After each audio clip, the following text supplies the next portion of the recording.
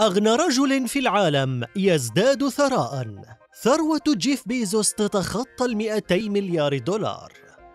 كان جيف بيزوس أغنى رجل في العالم والآن ازدادت ثروته مرة أخرى مسجلا رقما قياسيا جديدا كأول شخص تتخطى ثروته حاجز المئتي مليار دولار. وبلغت ثروة الرئيس التنفيذي لشركة أمازون حوالي 202 مليار دولار مع ارتفاع أسهم شركته أي بارتفاع يزيد مقداره عن 87 مليار دولار منذ يناير كانون الثاني الماضي. ويعود النمو الهائل في ثروة بيزوس إلى مقتنياته في أمازون حيث ارتفع سهم الشركة بحوالي 25% خلال الأشهر الثلاثة الماضية وبنسبة 86% حتى الآن هذا العام.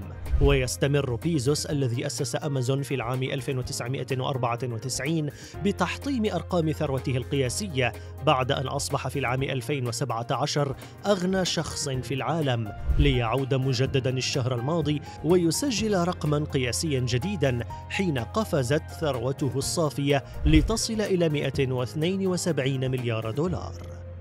شاركنا رأيك